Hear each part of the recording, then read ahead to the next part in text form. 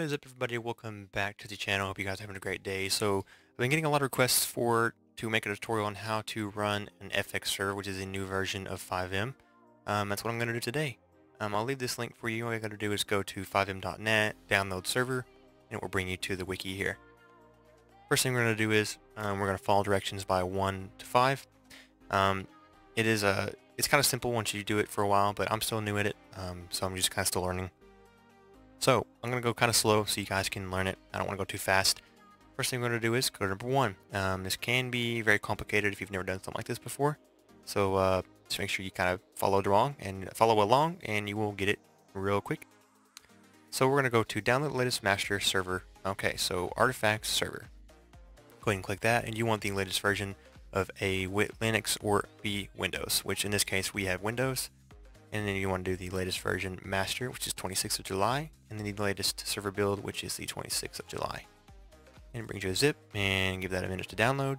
Alright it finally downloaded so the next thing you want to do is go into your C drive or whatever drive you want to use. In this case I only have one of course because I have a, not a, the best computer of all. So uh, I'm going to go to my C drive. I'm going to go in here and make a new folder. And I'm going to name it uh, you can name it whatever you feel like you want to name it. Name mine FX test. FX test and then you want to go in here to your wherever your server is.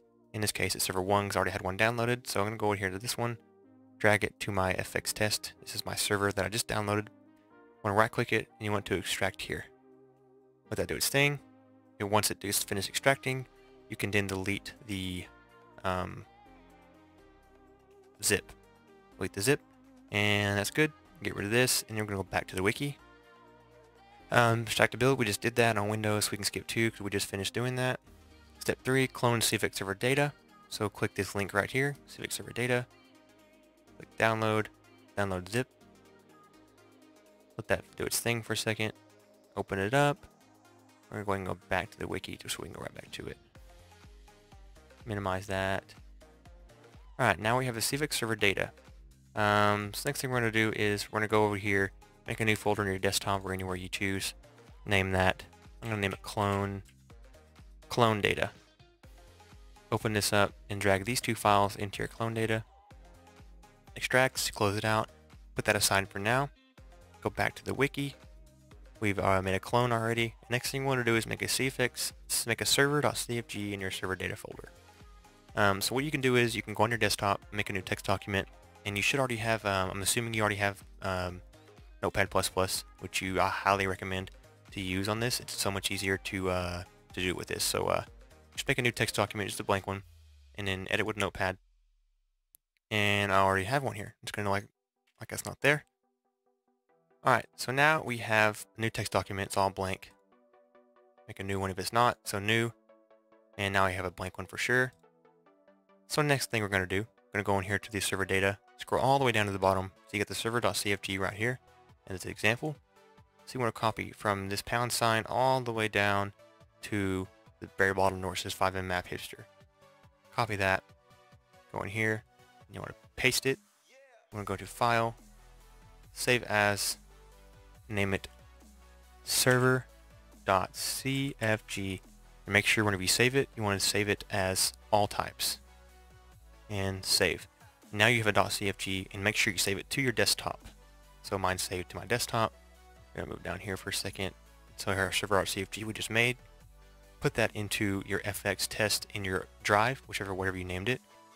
Drop that in there. Go back up. Then we're going to go to the run the server on the server data folder. So now we're ready to put the clone data. Bring this over here. Here's our clone data. We're going to drag these two files into our FX test. Boom, they're all in there close that. You can get rid of this folder if you choose. I'm not sure why um, I do that. I was just told to do that. And I'd ever never done it differently, and I don't want to mess anything up, so I've always done that. So now what we got to do is we got to run this through the command prompt, which can be, you know, annoying. I don't like running things through command prompt, but, you know, open the command prompt up, and we're going to do uh, change directory, and we're going to do our C drive slash, what do I name it? Fx test. Yeah, fx test. And there's that. And then what we're going to do is we're going to type in whatever it says right here at the bottom. So it's run command dot plus exe server.cfg. So these things right here is what you're going to type in on the prompt. I'm going to go in here.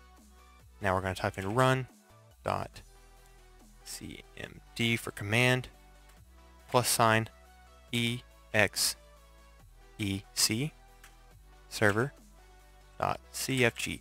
And if you installed everything correctly and done it right, it will run your server. And now your server is live and it is up and running.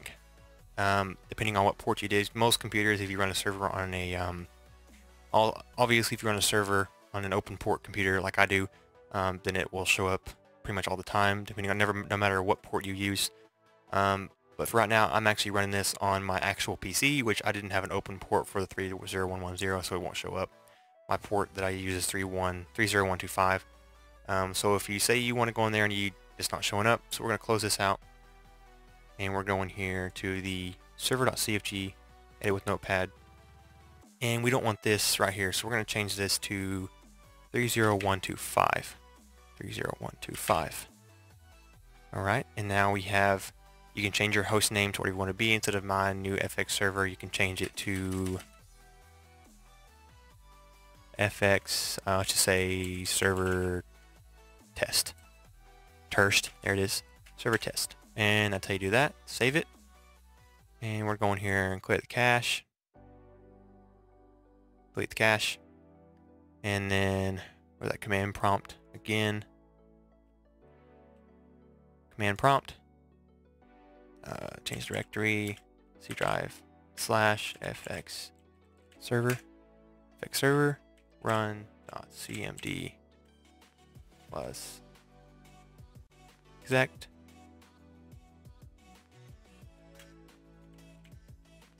CFG. And then it will run your server again, and it will run on that port that you changed it to. Alright guys, that's how you set up your server. Um, I hope you did enjoy the video and hope it helped you out a little bit. If you're having problems with it, just let me know, and I'll try to help you out. Thanks for watching, and we'll see you on the next video.